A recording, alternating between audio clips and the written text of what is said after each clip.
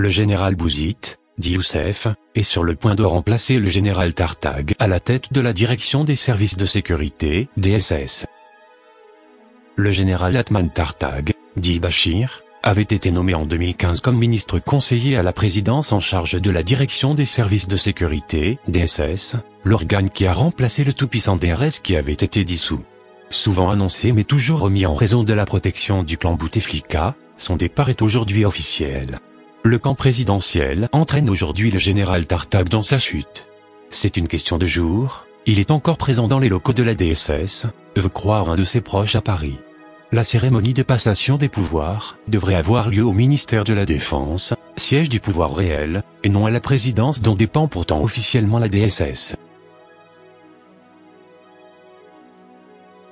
En raison des manœuvres que le général Tartag a toujours tenté pour affaiblir l'état-major et soutenir Saïd Bouteflika, le frère du président, ce gradé était devenu la bête noire de Ged Salah, patron de l'armée. Son renvoi est un signal fort de la montée en puissance du chef d'état-major et surtout de la décomposition du clan Bouteflika. Le général Tartag est remplacé par le général Bouzid, dit Youssef, qui était en charge au sein des services, des affaires extérieures soit l'équivalent de la DGSE française. Il s'agit d'un proche de Gaïd Salah, qui avait été démis de ses fonctions, voici quelques semaines, par Saïd Bouteflika, le frère encore tout-puissant du chef de l'État. Youssef avait en effet osé critiquer la façon dont le clan présidentiel tentait d'imposer un cinquième mandat. Le voici aujourd'hui promu à la tête de l'ensemble des services de renseignement. La roue tourne rapidement dans l'Algérie d'aujourd'hui.